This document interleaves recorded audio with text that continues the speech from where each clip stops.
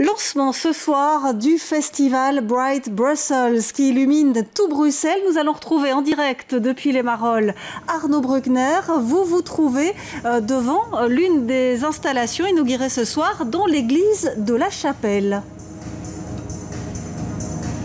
Oui, tout à fait Valérie, on se trouve ici dans l'église de la chapelle au cœur des Marolles. Derrière moi, vous découvrez l'installation Ray of Light du designer Jean-Jacques Marotte. Donc il s'agit de faisceaux de lumière et de projections vidéo projetés sur les colonnes et les arches de l'église. Le Bright Brussels Festival, c'est déjà la cinquième édition. Cette année, elle se déroule du 13 au 16 février, donc ce dimanche. À travers la ville, on peut découvrir une quinzaine d'installations et d'animations lumineuses réparties dans plusieurs quartiers. Vous le découvrez à à l'image. On a pu assister à certaines répétitions hier, notamment euh, dans les Marolles, mais euh, avec la Porte de Halle et aussi euh, jusqu'à la place Sainte-Catherine, en passant par le Mont des Arts où on découvrait des poissons lumineux ou encore la place des musées avec une série de projections, le Sablon, le quartier royal ou encore le centre-ville. On est ici avec Jeroen Rop, il est le porte-parole de Visite Brussels qui est à l'origine de l'événement. Qu'est-ce qu'on peut découvrir cette année?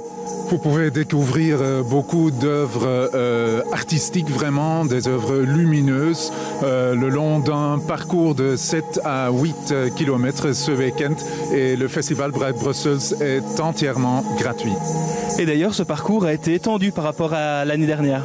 C'est vrai, l'idée était vraiment de mettre en avant quelques quartiers, des quartiers qu'on connaît euh, moins bien ou euh, qu'on connaît mais qu'on a envie de redécouvrir. Et l'idée était aussi un peu d'enlever la, la pression, la, la pression du euh, centre-ville autour de la grande place et donc euh, de mettre en avant des quartiers comme le quartier des Marolles, le quartier royal, le quartier euh, du Sablon ou le quartier de la porte de Halle. Et je le disais, c'est déjà la cinquième édition. Est-ce que c'est un événement qui a toujours autant de succès? Oui, l'année euh, passée, c'était vraiment une édition euh, record. Et donc, euh, cette année, on compte sur quand même beaucoup de visiteurs.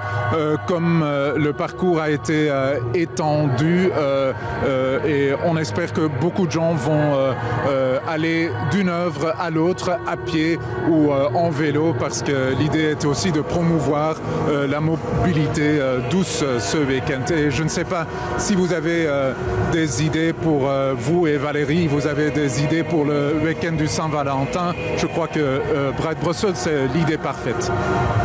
Effectivement, une très bonne idée à retrouver ici dans toute la ville à partir de ce soir 19h jusqu'à dimanche 16h. Merci à vous Arnaud, merci à Jeroen aussi pour sa proposition.